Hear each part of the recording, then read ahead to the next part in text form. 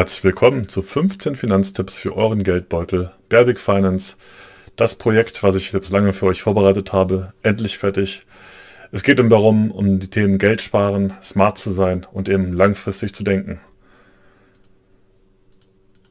Das Vorwort.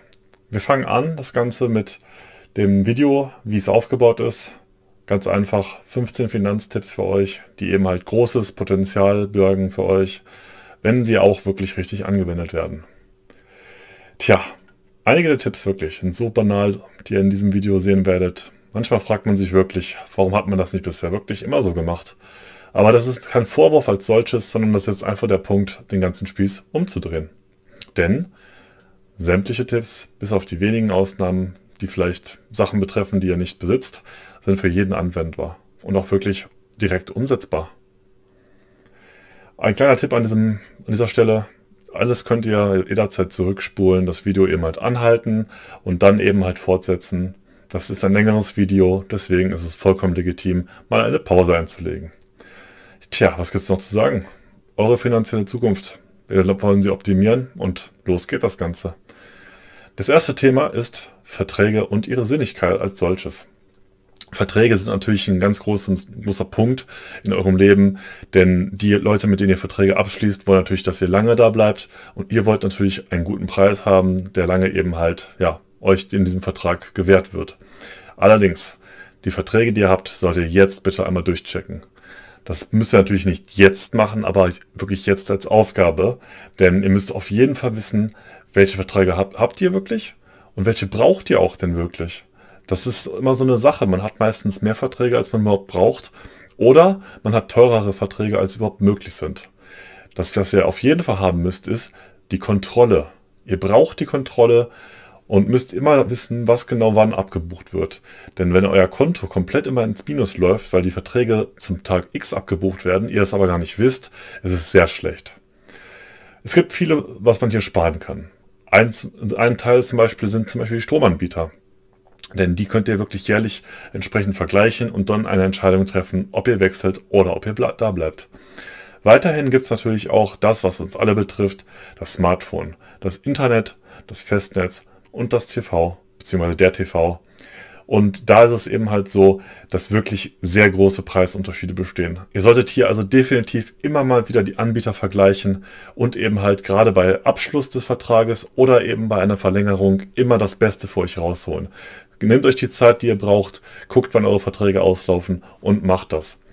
Auch ein großer Punkt, der viele junge Leute vor allen Dingen betrifft, aber eben halt auch Leute, die, ja, ich sag mal, auch jetzt gerade mit in das Thema reinkommen, sind Abonnements für Streamingdienste, wie zum Beispiel Netflix, Amazon Prime, Disney Plus und das bekannteste von allem ist das eigene Fitnessclub, beziehungsweise die Mitgliedschaft in einem Fitnessclub. Hier geht es darum, dass ihr eigentlich mal hingeht und eure Nutzung davon überprüft. Wie oft geht ihr überhaupt ins Fitnessstudio? Wie oft guckt ihr die ganzen Sachen an? Es wird natürlich monatlich immer abgebucht, aber braucht ihr das überhaupt? Das ist wirklich ein Punkt, den ihr für euch selbst überprüfen müsst und hier sind ganz große Einsparmöglichkeiten vorhanden. Damit haben wir einen Tipp, die Verträge direkt nach Möglichkeit ähm, zu kündigen und eben halt einer der sogenannten Verlängerungsfalle, dass ihr halt am Anfang gar nicht wisst, wann der Vertrag ausläuft, ja, zu entgehen. Das ist wirklich ein kleiner, aber großer Tipp und äh, sollte von euch auch wirklich beherzigt, beherzigt werden. Tja, was gibt's noch? Kostenlose Apps. Zum Beispiel die App Finanzguru, die ich auch selber nutze. Dort könnt ihr nämlich die Verträge eintragen und werdet dann auch benachrichtigt, wenn ein Vertrag ja, verlängert wird und kurzzeitig davor könnt ihr dann eine Entscheidung treffen. Das ist relativ wichtig und bringt euch mehr Flexibilität rein. Der zweite Punkt in unserer Auflistung ist eben halt euer gesamtes Konsumverhalten einmal zu reflektieren. Denn ein Punkt, den, ja, den wir alle haben, ist das Einkaufen als solches. Einkaufen als solches sollte nur mit einer Einkaufsliste passieren. Und auch nur das eingekauft werden, was ihr euch vorher aufgeschrieben habt. Und zwar niemals solltet ihr einfach aus dem Affekt raus handeln und Sachen einfach einkaufen, so wie ihr denkt, dass sie gut sind. Denn Einkaufsläden sind genau so gebaut, dass Angebote wie man es eben halt kennt, mit Sale und Prozenten.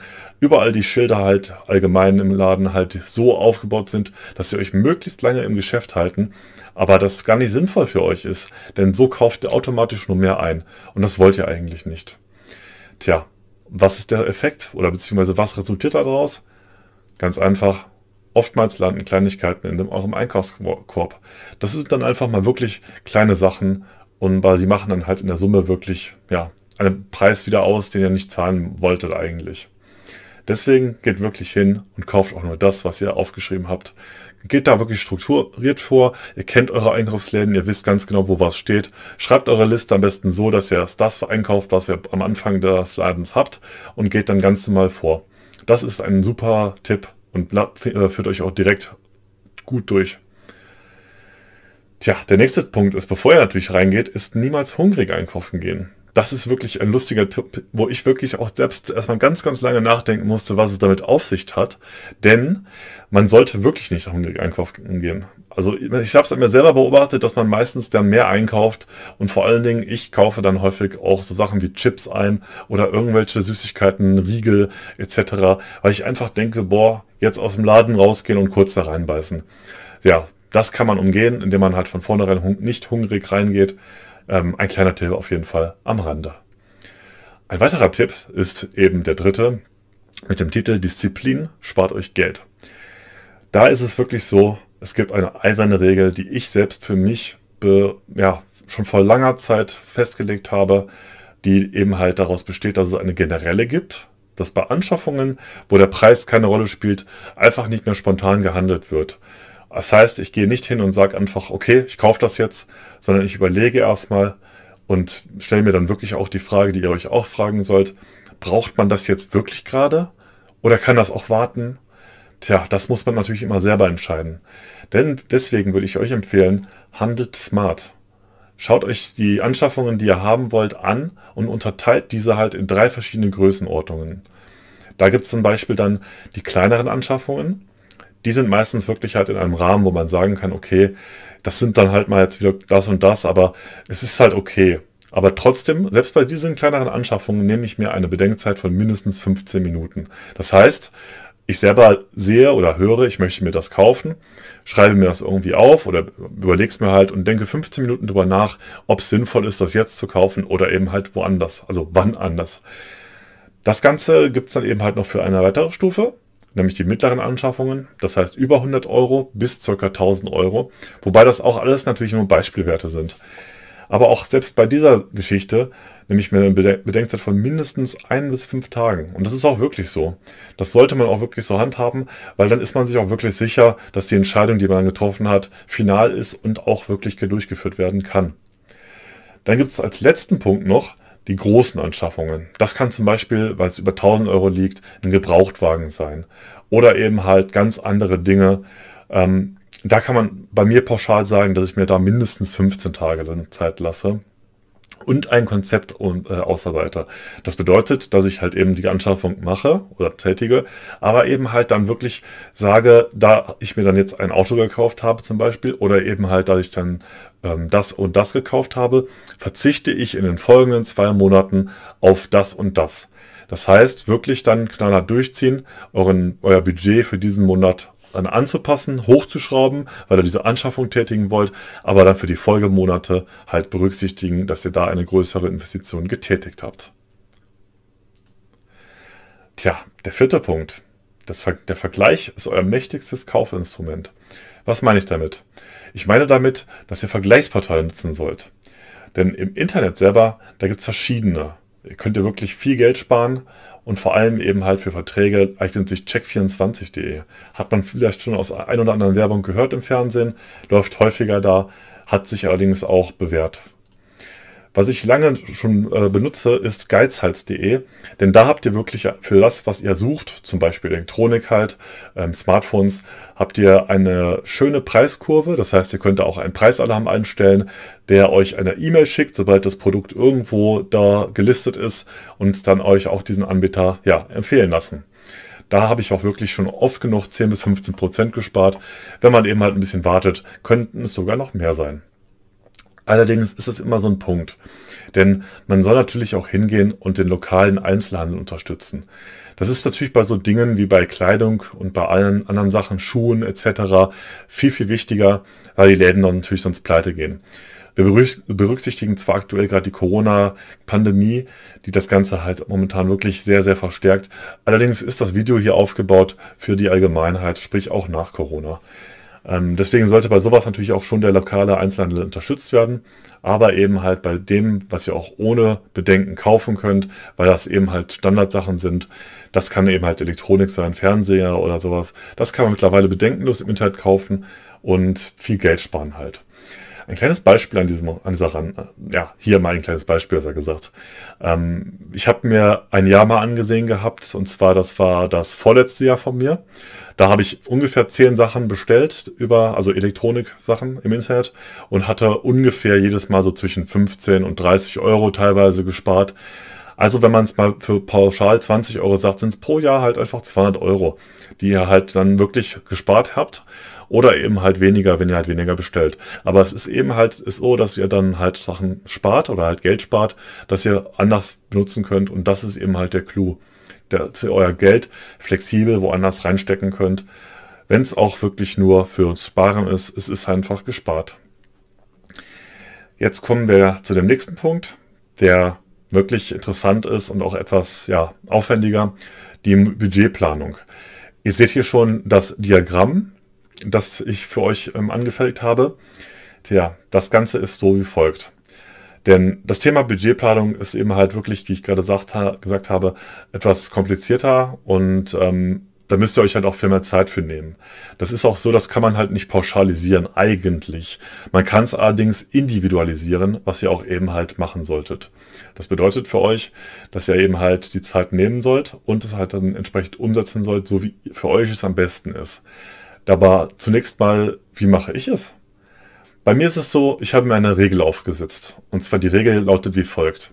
Ich teile mir mein Budget ein in einem Monat in 40% Fixkosten, 30% fürs Leben. Leben bedeutet in dem Sinne halt für Lebensmittel, Essen, was man eben halt wirklich täglich braucht. 20% Spaß, wobei Spaß jetzt eben halt alles sein kann, was eben halt nicht lebensnotwendig ist. Also zum Beispiel auch der Besuch in einem Fußballstadion oder eben halt ähm, ein Kneipenbesuch. So welche Dinge halt aber eben halt wirklich nichts, was man lebensnotwendige braucht. Ähm, und eben halt 10% sparen.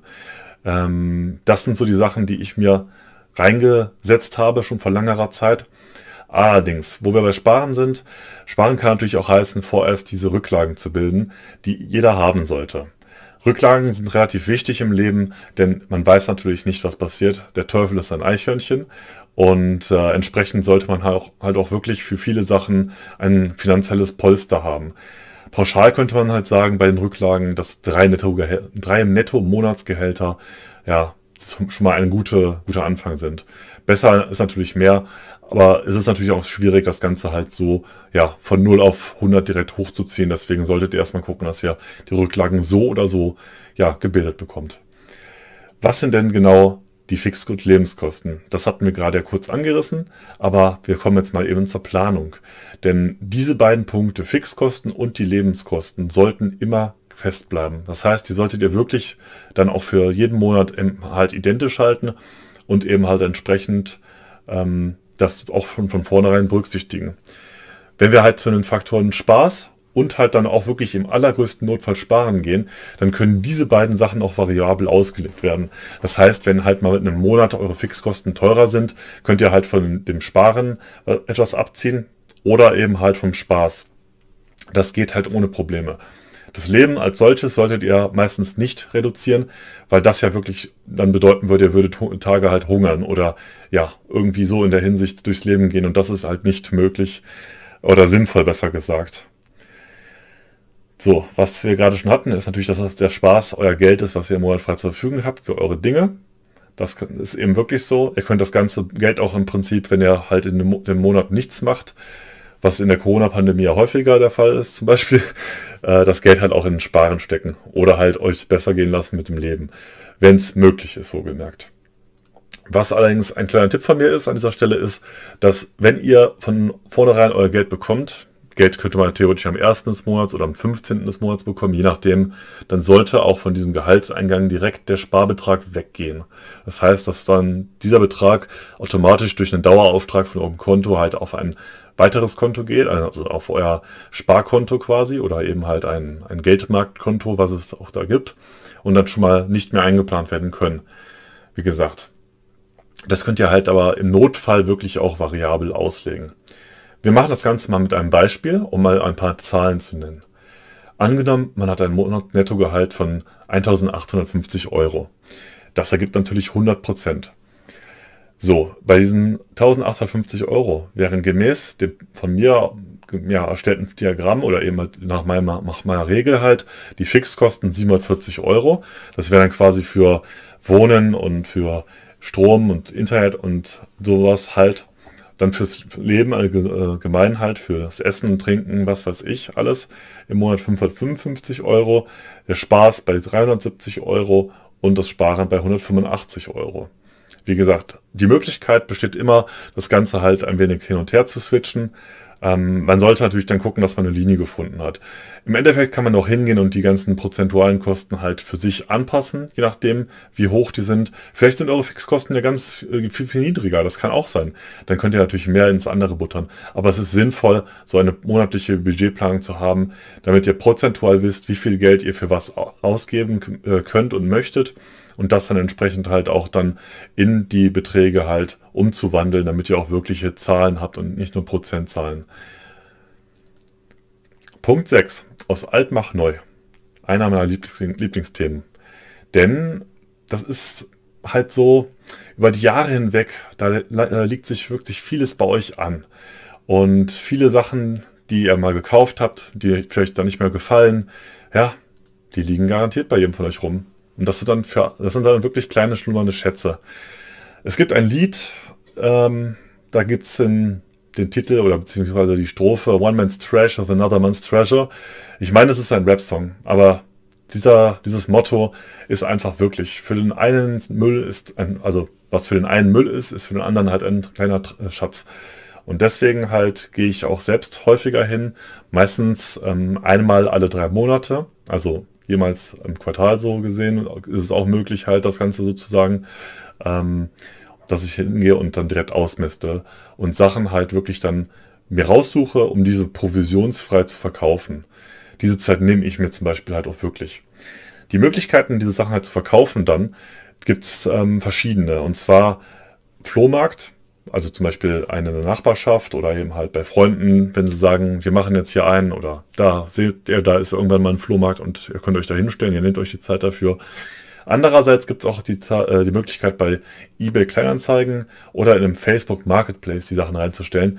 Dort kommen sogar die Käufer teilweise zu euch hin, holen die Sachen ab und ihr habt wenig Aufwand bis gar keinen Aufwand. Denn ihr müsst die Sachen nur übergeben, das Geld äh, kassieren und fertig ist es. Natürlich gibt es Geschichten, die bei eBay Kleinanzeigen ganz häufig auftreten, aber damit muss man halt einfach leben. Viele Beispiele oder gute Beispiele sind hier die, den Schmuck, Elektronik, Kleidung, Spiele, Blu-ray, Musik oder halt wirklich Raritäten, die ihr geerbt habt und vielleicht irgendwann mal zu Geld machen wollt. Vielleicht ist jetzt sogar der Zeitpunkt gekommen, wo ihr das machen könnt oder solltet, denn ihr wisst natürlich nicht, wie viel steigt diese Rarität noch.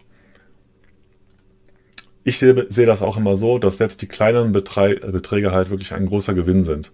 Viele sagen halt, ähm, die Sachen werden irgendwann mal was wert. Das kann auch wirklich der Fall sein.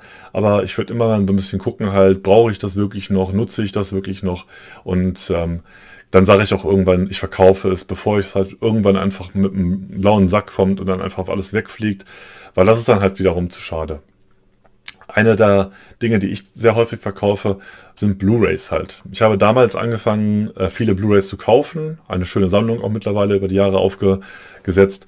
Aber mittlerweile und in Zeiten von Streaming werde ich oder habe ich mir beschlossen, dass ich die so weit es geht halt verkaufe, damit ich einerseits Platz habe, weil ich die mir dann halt online kaufen werde für einen Preis und ähm, ja, die dann halt verkauft bekomme. Das ist eine Möglichkeit, die ihr macht, aber dieses Beispiel könnt ihr halt auf alles Mögliche anwenden. Tipp Nummer 7. Die Wami, die Wassermethode. Das ist ein, äh, ja, ein von mir entwickelter Begriff. Ähm, die Wassermethode selber ja, nutze ich wirklich schon seit 15 Jahren. Ähm, vielleicht ist sie auch gar nicht so ja, unbekannt. Das werden einige machen. Aber für mich ist es selber, selber ein Trick, den ich seit 15 Jahren praktiziere. Ähm, der wird dadurch ermöglicht, dass wir halt wirklich in, es in Deutschland halt sehr gut haben. Unser Leitungswasser von hoher Qualität ist und eben halt wirklich ein Standard angestrebt wird, der sehr, sehr hoch ist hier. Und gerade in Neubauten halt ähm, kann man das, das, Wasser sowieso ohne Bedenken trinken. Es ist halt bei, bei Altbauten etwas verkalkter, aber immer noch trinkbar. Das müsst ihr natürlich dann selbst entscheiden. Was passiert denn genau bei diesem Trick? Ähm, ihr kauft im Prinzip nach wie vor Flaschen oder habt vielleicht so eine schöne Glasflasche, die ihr äh, mehrfach befüllen könnt. Da gibt es ja so äh, Soda-Stream-Flaschen zum Beispiel. Und ja, befüllt die einfach mit Leitungswasser. Das bedeutet halt, dass ihr quasi, wenn ihr einmal so ein Teil kauft, dann ist er dann, oder halt diese Plastikflaschen in einem Sixpack, dass ihr dann halt nur einmal einkaufen geht und diese Dinger dann halt so oft es geht nachfüllen könnt zu Hause. Ähm, ich mache es jetzt nee, auch nicht wirklich 50 Mal, ähm, aber mindestens einmal sage ich mir, mache ich es, wenn nicht sogar zweimal. Ähm, als kleines Beispiel, ähm, die Ersparnis hier ist natürlich etwas ja, schwierig oder komisch zu lesen. Aber mal nur so als Beispielwert, wenn ihr jetzt den Discounter reingeht und da eine Flasche Wasser kauft und da ungefähr 13 bis 50 Cent, 13 bis 50 Cent bezahlt, dann habt ihr natürlich ja eure Flasche schon mal da. Aber aus der heimischen Leitung ist ungefähr ein Liter Wasser bei 2 Cent. Das ist natürlich ein ganz anderes Maß soweit. Und ähm, ja, das ist so ein bisschen die Referenz. Da könnt ihr viel Geld sparen wenn es auch wirklich nur einmal befüllen ist, also mit eurem Wasser hier aus der, aus der Leitung. Es, ist, es macht viel aus und gerade wenn ihr halt wirklich nicht einkaufen könnt, dann trinkt lieber Leitungswasser, anstatt irgendwie ja, zur Tankstelle zu laufen und da Wasser zu kaufen, denn das ist natürlich Geld. Verbrennung en was. Ein weiterer Punkt, wo man viel, viel Geld einsparen kann, ist die Lasten, die man selber hat, zu erkennen und erfolgreich zu beseitigen. Der Punkt ist natürlich sehr, sehr stark aber schwierig. Das muss ich von vornherein sagen. Denn wir haben ja bereits in einem vergangenen Kapitel, das war das fünfte, gelernt, dass wir unser monatliches Budget halt einteilen. Und ähm, wir können jetzt hingehen und diesen Prozess noch weiter optimieren. Das geht da so in den Fall, dass wir halt wirklich erkennen müssen, was wir haben für Lasten und die dann entsprechend halt anpassen oder halt wirklich ad acta legen. Ähm, es geht da halt wirklich so aus der Sparte vor, dass das Ganze halt Leben und Spaß betrifft. Allerdings diese Lasten euch diese beiden Punkte halt ähm, ja, glatt eurem Geld berauben. Es gibt für mich persönlich gibt es drei große Lasten im, im Leben. Und zwar äh, seid ihr Raucher, dann ist es wirklich so, dass ihr hingehen könntet. Und äh, ich weiß, das ist das Allerschwierigste im, im Leben quasi. Ich kenne selber viele Raucher. Ähm, das ist eine Sache, das schafft man nicht so einfach und auch nicht mal eben so. Aber falls es ihr schaffen würdet, das ist eine enorme Möglichkeit, halt richtig viel Geld zu sparen. Es ist schwierig, aber wenn ihr es schafft, es lohnt sich. Denn als kleines Beispiel, zwei Schachteln pro Woche, die ja die meisten Raucher ja wahrscheinlich schaffen, das sind halt momentan 7 Euro pro Schachtel, habe ich mal recherchiert, sind wie gesagt im Jahr um die 728 Euro, tendenziell sogar mehr, weil manchmal bleibt es auch nicht bei zwei Schachteln, aber bei zwei Schachteln könnt, sollte es meistens immer so bleiben. Also das wäre schon mal blankes Geld. Ein weiterer Punkt, Alkohol. Ähm, ist schwierig zu sagen, weil wir Deutschen natürlich auch sehr gerne Bier trinken und ich finde, es ist auch nichts unbedingt Verwerfliches dran, ähm, das zu praktizieren.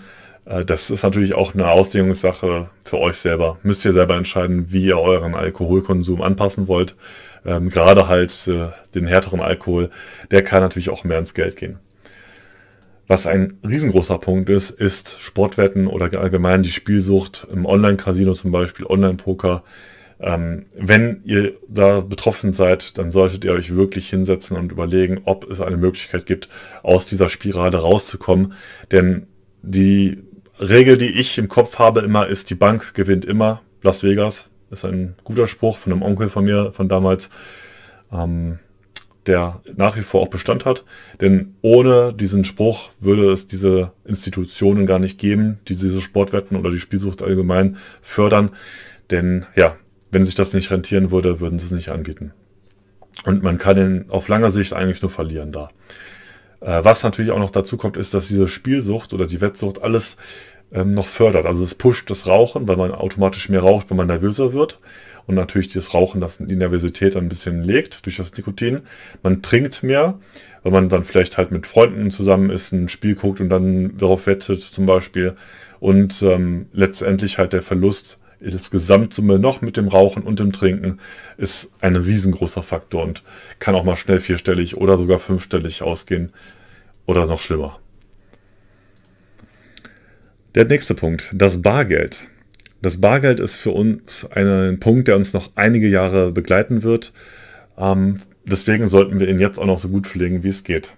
Denn nehmt euch einfach mal euren Geldbeutel zur Hand und guckt einfach mal nach, wie viel da in dem Münzfach drin schlummert. Könnt ihr aber auch mal hingehen und wirklich reflektieren, wie ihr selbst bezahlt. Bezahlt ihr ausschließlich noch bar oder auch alles mit Karte? Mit was für Beträgen arbeitet ihr? Geht ihr hin und bezahlt beim Bäcker mit Karte? Das ist natürlich ähm, eine Sache, die müsst ihr selbst für euch entscheiden. Ich bin großer Freund der Kartenzahlung, weil ich Bargeld als solches halt nicht unbedingt schätze. Zwar die Scheine als solches schon, aber keine Münzen. Denn wenn ihr häufig mit Bargeld bezahlt, bekommt ihr halt auch häufig Kleingeld wieder. Und das staut sich dann bei euch im Portemonnaie an. Was dann als Lösung auftritt, ist natürlich euer Sparschwein. Denn das könnt ihr dann einfach jeden Tag, wenn ihr nach Hause kommt, ja, euer Geld rausnehmen aus dem Geldbeutel und da reinschmeißen.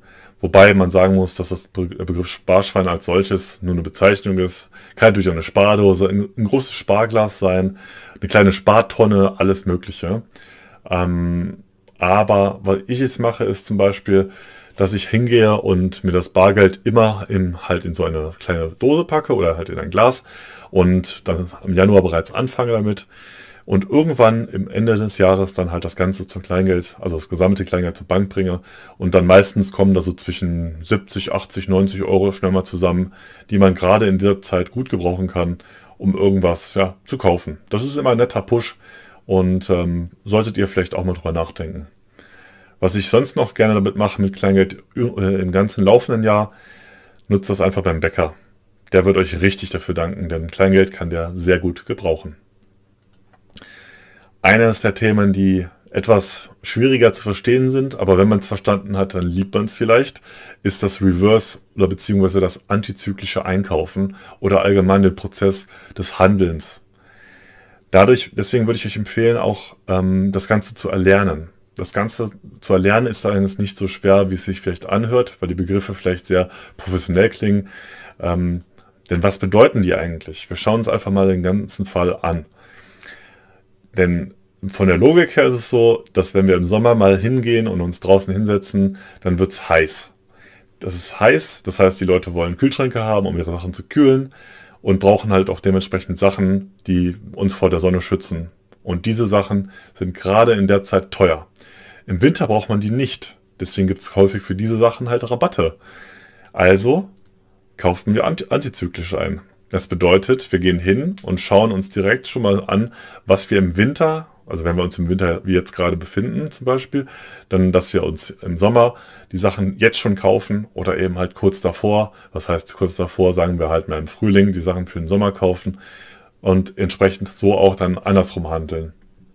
Dass wir Weihnachtsgeschenke zum Beispiel schon im Juli und August kaufen, bevor sie halt teurer werden. Das machen die Händler halt bewusst, weil sie wissen, es ist Weihnachten und sie können die Preise entsprechend anheben.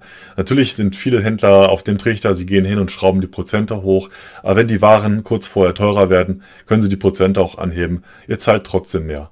Aber so habt ihr eine kleine Methode, ja, auf das ihr halt hingehen könnt und das könnt ihr wirklich auf alles anwenden und könnt auch entsprechend so viel, viel Geld sparen. Vergleicht hier einfach mal die Preise, gerade halt auch mal so im Internet halt, was, wie die Preise sich entwickeln über das Sommer hin und zum Winter hin. Das ist wirklich mal was, wo ich hinsetzen könnt und viel, viel Geld sparen könnt. Der nächste Tipp betrifft nicht alle von uns, denn nur die für un, äh, unter uns, die quasi auch das Auto benutzen, sei es täglich, um zur Arbeit zu kommen oder generell einfach halt so mal als solches. Denn die Aussage, die einige auch äh, so getreffen und auch ja, bekannt ist, ist, das Auto ist halt eine Geldverbrennungsmaschine. Das heißt, es bringt euch ja kein Geld. Das, ihr seid kein Taxiunternehmen, ähm, aber das Problem dabei ist, ihr müsst halt immer gucken, braucht ihr denn das Auto auch wirklich? Das ist schwierig zu bemessen, denn das macht natürlich auch viele Faktoren aus. Ähm, und als Möglichkeiten gibt es natürlich nur die Bildung einer Fahrgemeinschaft zum Beispiel oder eben halt aufs Fahrrad umzusteigen oder zu Fuß zur Arbeit. Die erste genannte Punkt, sprich die Fahrgemeinschaft, macht natürlich nur Sinn, wenn ihr auch vielleicht einen Arbeitskollegen habt, der eh mit dem Auto fährt, fährt und ähm, ihr euch vielleicht die Kosten so teilen könnt, indem ihr halt immer vielleicht in der Nachbarschaft wohnt, ja, dahin fahrt oder der euch mitnimmt jeden Morgen. Das ist natürlich auch ein wenig äh, unbequem, weil man dann auf ihn angewiesen ist, aber prinzipiell kann man natürlich so auch hantieren. Falls ihr nicht so weit weg wohnt von eurer Arbeit, könnt ihr natürlich auch gerne aufs Fahrrad umsteigen. Für die Gesundheit ist das natürlich viel wert oder eben halt zu Fuß, falls ihr kein Fahrrad besitzt. Was aber ein Punkt ist, wenn ihr ein Auto besitzt, ist das Tanken. Das ist für mich natürlich auch ein großer Punkt. Immer, ich führe da immer eine Liste, wie oft ich getankt habe und was, zu welchen Preisen, weil ich das Ganze immer sehr gerne analysiere. Und ähm, tja, das ist bei mir so, dass ich halt damals hingegangen bin und diesen Tipp hier befolgt habe. Sprich eine Statistik angefertigt habe über zwei Wochen oder es waren damals sogar drei, ähm, um eben halt rauszufinden, genau wie es von der Preisentwicklung zugeht. Das heißt, ihr geht hin, ladet euch eine App runter, die die Spritpreise anzeigt. Viele werden sowas auf dem Smartphone schon haben und guckt einfach wirklich mal zwei Wochen lang zu von euch definierten Zeiten, wo ihr auch wirklich tanken könnt, wie die Preise sich entwickeln. Das ist natürlich dann auch so eine Sache, dass ihr hingehen müsst und dann auch wirklich schauen müsst, kann ich da tanken? Äh, und zwar rede ich jetzt nicht von 9.48 Uhr morgens, wo ihr dann vielleicht auf der Arbeit sein soll, soll, müsst oder so, sondern könnt ihr morgens vor der Arbeit tanken, dann nach der Arbeit tanken und vielleicht irgendwie um 21 Uhr noch. Denn abends sind meistens die Preise günstiger. Natürlich ist das halt generell für die Zukunft gesehen nicht sehr akkurat, aber ihr könnt euch vielleicht hingehen und dann eben halt so ein kleines Muster ausmachen, wo ihr zum Beispiel sagt, okay, ich habe erkannt, donnerstags abends ist es am günstigsten bei meiner Tankstelle meistens, dann tanke ich da oder gehe einfach da tanken auf gut Glück. Und geht auch so hin und tankt immer, bevor irgendwelche Ferien beginnen, denn da sind meistens die Spritpreise wesentlich teurer. Ein kleiner anderer Tipp hier noch an dem Rande ist, euren Reifendruck zu optimieren und eben halt nicht zu sagen, zu, zu schnell zu rasen. Generell einfach spritsparend fahren, dann habt ihr länger was davon. Denn wir kommen nochmal zur Geldverbrennungsmaschine. Denn allein schon von der Kfz-Versicherung, wenn wir mal einen Wert von 700 Euro im Jahr ansetzen, bedeutet das halt schon, dass das Auto euch wirklich jeden Tag fast 1,91 Euro oder sogar mehr kostet, nur dass es irgendwo rumsteht auf einem Parkplatz. Und da ist noch kein Verschleiß mit eingerechnet, gar nichts. Das sind halt wirklich so Kosten. Wenn ihr noch die Kfz-Steuer vielleicht umlegt, dann könntet ihr, könnte es gut sein, dass er ungefähr so bei 2 Euro kommt pro Tag, dass das Auto halt euch kostet, ohne dass es euch was bringt. Wir kommen zum zwölften Punkt. Das Haushaltsbuch als eure beste Waffe. Tja, was möchte ich euch damit sagen? Für ein Haushaltsbuch. Ein Haushaltsbuch ist sehr, sehr praktisch, denn da habt ihr ja wirklich eure Einnahmen und Ausgaben drin. Damit könnt ihr halt auch wirklich Statistiken anfertigen, wie viel Geld ihr in einem Monat ausgegeben habt und vor allen Dingen, was ihr wirklich dann auch mal eingenommen habt, wenn es Einnahmen gibt, die ihr irgendwie haben könntet. Man weiß es nicht. Schaut euch in einem Haushaltsbuch dann einfach an, was ihr Ein- und Ausgaben ihr habt und stellt möglichst viele Sachen davon wirklich in Frage. Und zwar sehr, sehr akribisch. Weil ihr habt nur hier die ganzen Zahlen blank komplett auf dem Papier parat und könnt die Optimierung vornehmen. Indem ihr halt hingeht und sagt, okay, hätte ich jetzt das und das so machen müssen oder hätte ich es vielleicht anders machen können, hätte ich vielleicht einen Monat später das kaufen können. So werdet ihr viel schlauer und lernt auch daran. Lerneffekt ist in dieser Hinsicht immer am besten. Wie kann das Haushaltsbuch aussehen? Entweder klassisch wie damals in einem DIN A4-Buch. Das ist für einen Monat natürlich machbar, ist aber ein bisschen altertümlich, weil das ganze Addieren und Subtrahieren halt ähm, ja, ein bisschen umständlicher ist, weil man halt viel, viel ja, an, an, am Stück rechnen müsste quasi. Zwar werden sich die Kosten, weil ihr viele Sachen ähm, sparen könnt, viel schnell amortisieren hier. Aber, tja, wer macht das schon noch auf alte, alte Art, ne? Das Ganze modernisiert betrachtet könnt ihr in einer Excel-Liste machen. Die ist natürlich für euch kostenlos, wenn ihr das Programm auf dem PC habt, was meistens der Fall ist. Oder halt im Internet gibt es auch Google äh, Spreadsheets, Online-Sheets, die sind auch kostenlos. Da gibt es vielleicht auch sogar eine Vorlage für so ein Haushaltsbuch, könnt ihr gerne mal googeln. Aber prinzipiell reicht es, wenn ihr eure Einnahmen und Ausgaben gegenüber überstellt, sage ich mal. Jetzt der Punkt, der mir sehr wichtig ist, wo wirklich auch enormes Einsparpotenzial ist, ist Waste. Weil bei Waste heißt das, ihr werft Geld bewusst in die Tonne, also den Abfall. Aber was genau ist Waste? Waste selber ist ein Begriff, der halt in Fastfood-Restaurants häufig vorkommt, bei denen ja, das Personal angehalten ist, diesen Wert so niedrig wie möglich zu halten, bei denen halt dann quasi Sachen produziert werden, die dann aber auch wirklich an den Kunden gehen und nicht weggeschmissen werden. Der Wert steigt natürlich zum Beispiel dadurch, dass ja, Restaurants, die auch Vorgabe haben, nach sieben Minuten diese Burger, die in der Ablage liegen, halt einfach wegzuschmeißen, ohne dass sie halt gegessen werden oder halt irgendjemanden, ja, damit irgendjemand diese kauft. Was bedeutet das für euch? Denn für euch ist hier gemeint das blanke Wegwerfen nur. Das heißt, dass Lebensmittel, die ihr gekauft habt, wie Wurst oder Käse, die ihr nicht verbraucht habt oder eben halt komplett unverbraucht und dann abgelaufen sind, die dann einfach in die Tonne wandern. Tja, die Frage ist halt nur, ob sie in die Tonne wandern müssen. Denn diese, dieses Müssen betone ich ausgiebig wirklich gerne, weil es gibt zwar das Wort abgelaufen oder das Mindesthaltbarkeitsdatum, aber das ist nicht immer eine Referenz. Ich will immer hingehen und das Ganze kontrollieren, und zwar mit unseren Sinnen, das heißt sehen, riechen und schmecken. Ihr könnt natürlich dann auch ähm, das in der Reihenfolge machen das Sehen, ob das verschimmelt ist, das Riechen dann, ob es noch wirklich frisch riecht und das Schmecken letztendlich, ob es wirklich noch schmeckt. Ich würde das in der Reihenfolge auch machen, aber so ist eben halt ähm, eine gute, gute Lösung. Und das Ganze, so, wenn ihr dann Sachen wegschmeißt, dann protokolliert es auch. Schreibt euch in euer Haushaltsbuch, was ihr wegschmeißt, also auch wann, sprich Datum, dann das Produkt und den Preis. Und dann könnt ihr einfach mal so im Monatende diesen Waste-Wert eintragen und dann euch richtig ärgern oder eben halt sogar wütend werden, weil ihr eben halt Geld weggeschmissen habt. Wenn ihr es, wenn ihr es schafft, wirklich jeden Monat diesen Waste-Wert so niedrig wie möglich zu kriegen, ist das optimal und spart euch wirklich sehr, sehr viel Geld. Planung, das ist die halbe Miete im Leben. Das ist ein, ein Spruch, den ich sehr gerne sage, denn ähm, Viele handeln wirklich halt nur oft im Moment. Das heißt, sie sehen jetzt gerade, brauche ich das, jetzt gerade kann ich das machen, aber nicht langfristig gesehen. Und zwar gerade oder eben halt hauptsächlich beim Kaufen. Daher solltet ihr hingehen und mehr lernen zu planen, im Voraus vor allen Dingen, und euch dadurch eine individuelle Strategie zu arbeiten und für die Zukunft top aufgestellt zu sein. Vieles kommt daher von der Aussage, ich brauche das jetzt und nicht irgendwann.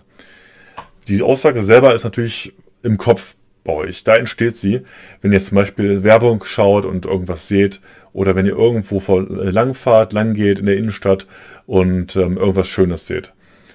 Aber durch diese Aussage und dann das Resultat, dass ihr das gekauft habt, nehmt ihr halt auch wirklich die, äh, teilweise die Tatsache in Kauf, nicht den besten Preis zu bezahlen oder halt einen Preis, der aufgerufen ist. Ein gutes Beispiel ist hier aktuell die PlayStation 5, die ja so ziemlich überall vergriffen ist und von Leuten gekauft wird, wird, die jetzt auf anderen Plattformen wiederverkauft wird, für teilweise den doppelten Preis. Deswegen ist immer die Frage, brauche ich jetzt zum Beispiel direkt unbedingt eine PlayStation 5 oder kann ich warten? Diese, da, damit ihr mal so ein Gefühl bekommt, wie viel Geld man da einsparen kann, ist eben halt das ein großer Punkt, den ihr immer mal wieder in Betracht ziehen solltet. Mein Tipp daher auch bei jetzt nicht unbedingt diesem ähm, Beispiel, kauft einfach mal auch auf Vorrat plant zum Beispiel halt vor, im Vorfeld, dass ihr halt ähm, mehr kauft von einem Produkt, was ihr sowieso braucht. Dann habt ihr halt Vorrat und könnt das dann im Zweifelsfall sogar noch mit einer Familie von euch, also mit eurer Familie teilen oder mit euren Nachbarn, wenn die das zum Beispiel euch fragen, hey, hast du noch für mich ein Duschgel oder sowas?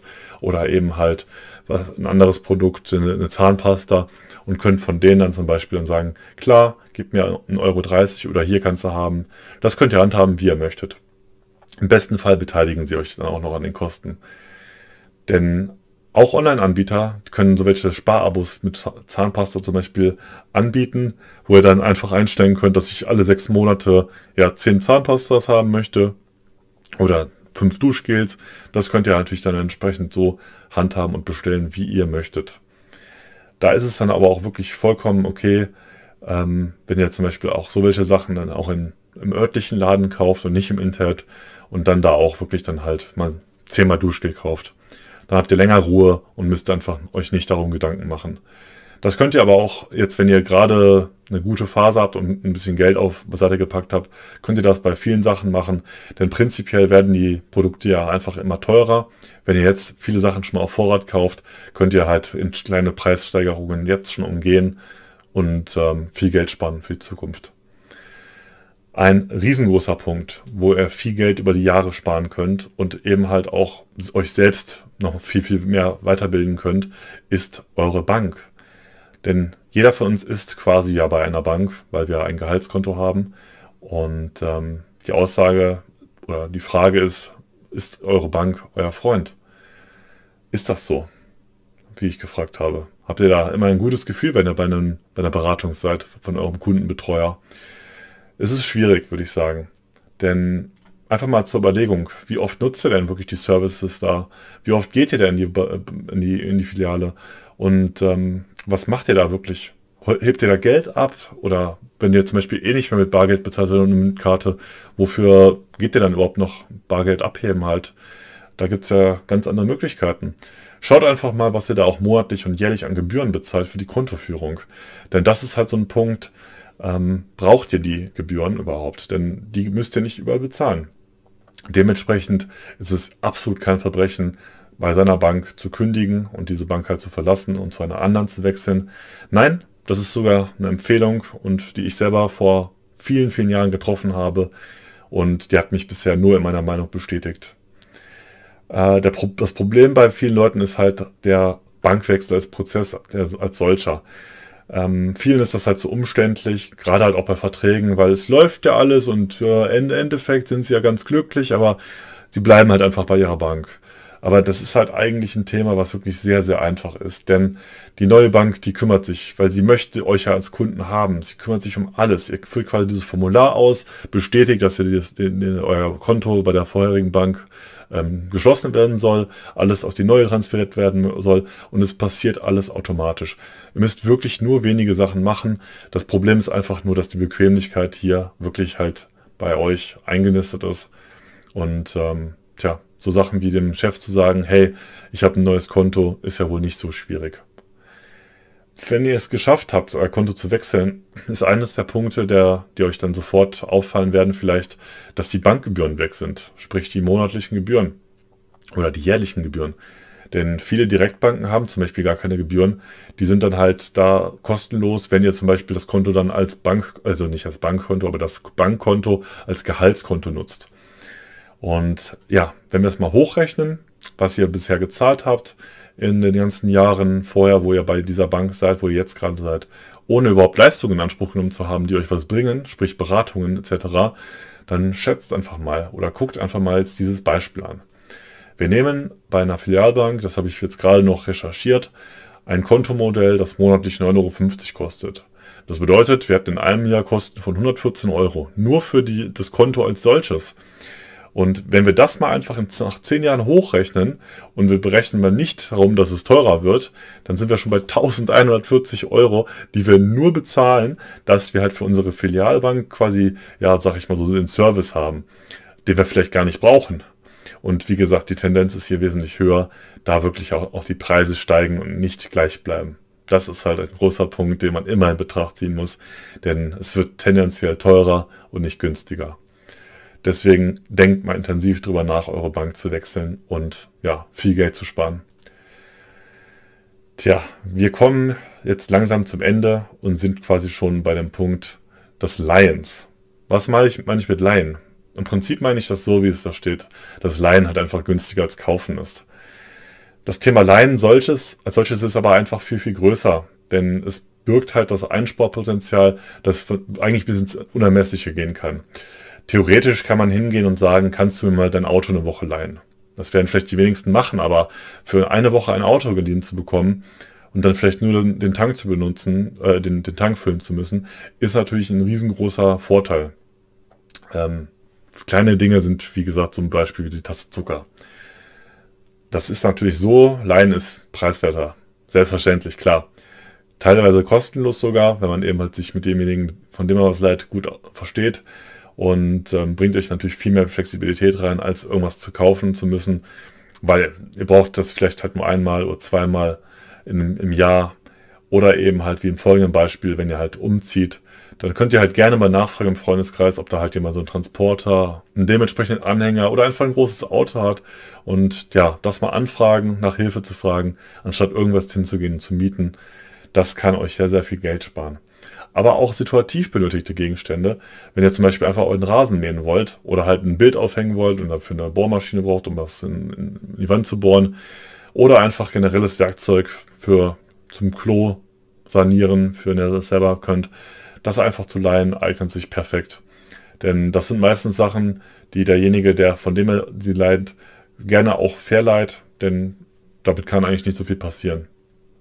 Allerdings ist es so, dass beim Leihen, dass, dass dieser Prozess halt nur sinnvoll ist, wenn es euch für euch kostenlos ist. Und ja, als kleines Beispiel, wenn ihr halt von euren Nachbarn jedes Mal den Rasenmäher leiht, zehnmal im Jahr und jedes Mal 10 Euro abdrückt dafür, dann könnt ihr euch eigentlich auch schon fast jeder einen selber kaufen. Das ist natürlich auch so ein Punkt, wo man sagen muss, ähm, dass wenn es halt euch, für euch kostenlos ist, dann geht einfach hin und zeigt euch anderweitig dankbar, indem ihr halt auch einfach mal ja, einen Kuchen backt oder irgendwas anbietet, was euer Freund oder Nachbar nicht hat und ihr euch dann gegenseitig ergänzen könnt. Das ist super für, die, für das äh, Nachbarschaftsgefühl oder einfach mit dem Freund besser klarzukommen soweit. Aber der größte Geheimtipp hier ist natürlich, dass ihr das Geliehene auch wieder zurückgeben könnt. Nee, sogar müsst. ja, das waren die 15 Tipps soweit. Ähm, ich bedanke mich für die Zeit. Es ist ein langes Video geworden. Es ist wirklich auch ähm, so, dass es halt Sinn und Zweck der Sache war oder ist. Denn das soll für euch natürlich auch ein großer Punkt sein, dass es einfach ja, für eure Zukunft besser aufgestellt seid. Sämtliche hier vorgestellten Tipps sind auch auf einer Webseite. Diese werden wirklich halt ähm, von mir immer fortlaufend ergänzt, auch angepasst, wenn es halt noch ein bisschen ja, ausgespielt werden könnte. Deswegen lohnt es sich von Zeit zu Zeit mal vorbeizuschauen.